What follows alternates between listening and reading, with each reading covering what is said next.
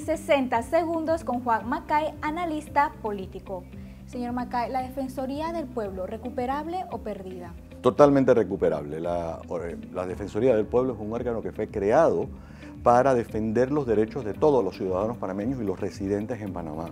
¿Los aspirantes al nuevo cargo de defensor cumplen las expectativas o son más de lo mismo?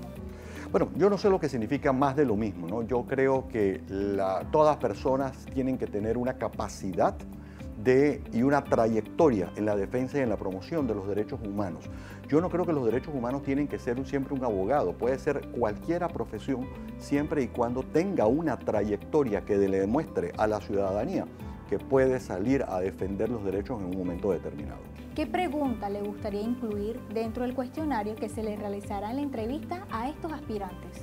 Diga en dos minutos cuál es su trayectoria y su experiencia en la promoción y defensa de los derechos humanos de los ciudadanos en Panamá. ¿Debe o no Maribel Coco ser elegida como la nueva defensora? Yo no creo, yo creo que Maribel Coco llegó por una circunstancia accidental eh, y que sencillamente no cumple ese perfil que deben tener los defensores del pueblo. Muchas gracias. Con ustedes, Juan Macay en 60 segundos.